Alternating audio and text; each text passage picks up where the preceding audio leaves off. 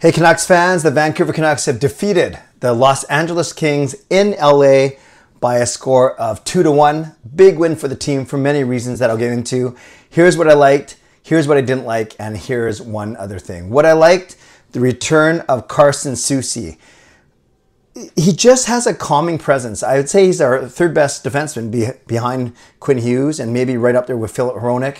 And yeah, he you know he wasn't the only reason why the Canucks won today, but I think there's no surprise, there's no coincidence that the team seemed calm on defense when he is back there. Maybe because he's there and Tyler Myers isn't, because Noah Juulsen is still in that, that top six blue liners. But still, I thought it was a great uh, game for Carson Soucy. And you can see that he's, he's steady, he's confident, and he simply breaks up a lot of plays with his long reach and with his good positioning. No, not a, uh, not a lot of uh, numbers on a stat line, just the one hit. Uh, no, no shots on goal, no points, even 18 minutes of ice time. So I think a really good uh, return to the lineup for Soucy after missing 17 games since hurting his hand against Toronto back in January.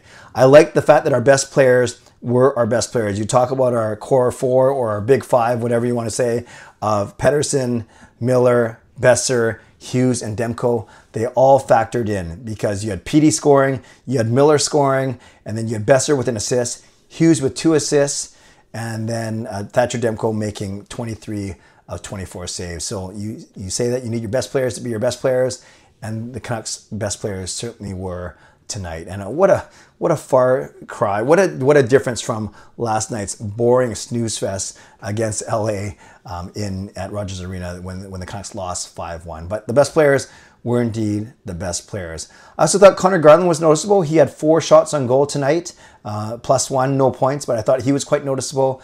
On um, I thought Sam Lafferty had a good game in limited ice time, 11 minutes, but he was always in the middle of scrums. He had four hits and was uh, was um, was always in the middle of things and and being a bit of a poop disturber, so to speak. And I thought um, on the blue line, yeah, Zadorov had four hits. I thought he was noticeable. Juulsen had three hits. Hronek had three hits. So they certainly uh, weren't afraid to, uh, some of our blue liners weren't afraid to lay the body as well. So um, I also like the Canucks, the fact that they they dominated in the faceoff circle two to one. I like the fact that they only took one penalty, so a very good disciplined game by the team, and the fact that they had a really strong second second period um, 16 to 9 were the shots. Um, so overall, I thought this was a really solid win by the Vancouver Canucks, and it was important that they won because Edmonton uh, inexplicably scored in the last minute and a half against Boston and then won in overtime. So Edmonton won as well. So it's nice to see the Canucks. Um, it's funny. It's not like the Canucks keep pace with Edmonton. Edmonton keeps pace with the Canucks because the Canucks are, are the forerunners right now. But still, it was very important that the Canucks won tonight's game. I was happy when they got to overtime, and I was obviously even more happy once they actually won the game. Let's talk about some things I didn't like. You know, I, I, I said this many times before. Sometimes I feel like I'm nitpicking in a game where the Canucks were quite solid, and it's very easy just to talk about the goals that they allow as things I didn't like. But I didn't like that first goal. I thought uh, played that quite poorly, actually. And um, I do like Filip Hronek's game. I think maybe I was too bullish on the contract he's going to get because I think there are some flaws in his game that we kind of see exposed once in a while, i.e., giving up the puck and turning it over a little bit. So, um, yeah, so the one thing I didn't like was his play on the, it's, and it's only LA goal. Uh, it's only goal of the of the game. But um, yeah, I didn't like his play on that LA goal when he kind of bobbled, bobbled the puck right in, in front of the crease. By the way, uh, I probably should give more um, more love to Demko. He was outstanding tonight. I shouldn't have just said, oh, he made 23 saves on 24 shots. Some of them were outstanding, uh, especially that one where he went from his right to his left. Uh, I think it, he rough, uh, was it, uh, um, what's his face? uh, Turcotte uh, with the glove save, and he made some other outstanding saves. So really nice to see Demko on his game. Again, that was a lot different. This whole game was different from when the Canucks hosted the LA Kings in that snooze fest last week. So that was again a thing that I liked. So what I didn't like, I you know the Canucks had two power play chances. They did not look very strong, very organized on those two. So maybe that's one thing that I would like to, to see them improve on a bit. They only had two chances, so uh, LA played disciplined as well um, just as the Canucks did. Yeah, didn't like um, the, the play on the first LA goal, but overall, you know, uh, I see Podkolzin had nine, only nine minutes this time as opposed to the 12 he had in the last game, but I don't think he played poorly. He actually had a credit with a shot today, so he had more in terms of uh, on the stat line. Uh, but yeah, I don't think he played poorly. I don't see a reason to take him out. He's not hurting the team. He's playing hard. He's uh, trying to turn pucks over, not turn the give the pucks away, but rather take pucks away from opposing teams along the boards, especially.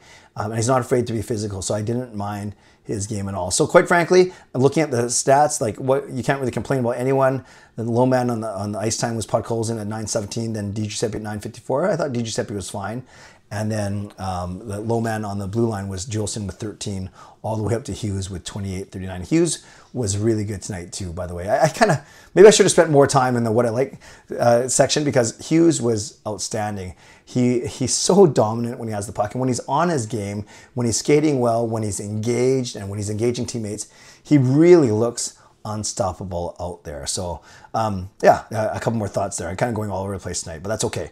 And then uh, one other thing Elias Lindholm. So he was subject. I don't know how credible the rumors are, but Chris Johnson also uh, tweeted out that maybe uh, the Canucks are interested in Guentzel. Maybe they would consider moving Elias Petter, uh, not Elias Pettersson. Don't don't. Sorry, that was a bad step.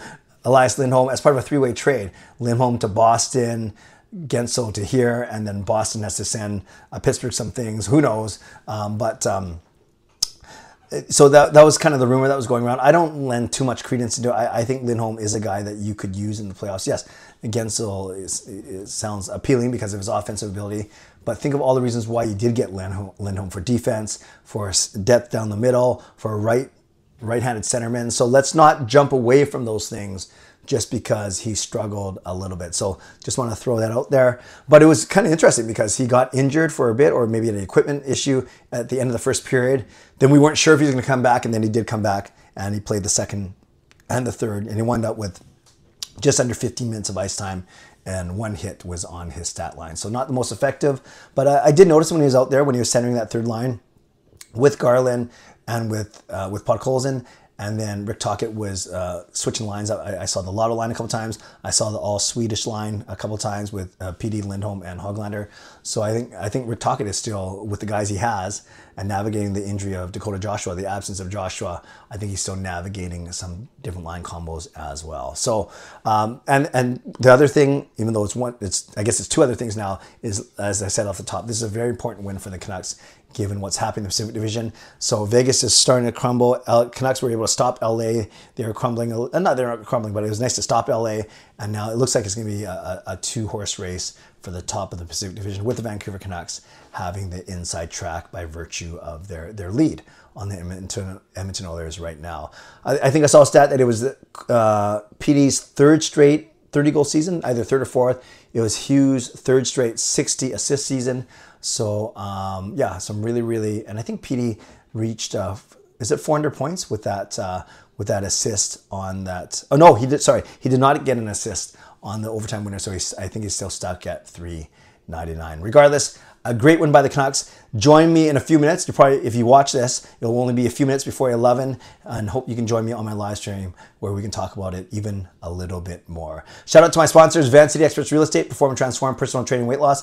Thank you, legendary Lucas Gates, legendary Carol Bovelander, legendary Andrew Chang, Hall of Fame and franchise members as well. And thanks to all of you for watching, liking, and subscribing. So on your way out, hit like, hit subscribe. You can leave a donation, become a member, upgrade your membership, and leave a comment. Tell me what you liked Tell me what you didn't like, and tell me one other thing from tonight's big 2 1 win by the Canucks over the LA Kings. Stay safe, stay healthy, take care of yourselves, and take care of each other. Hope to see you in a few minutes at 11 p.m. for my live stream. God bless, and go Canucks go.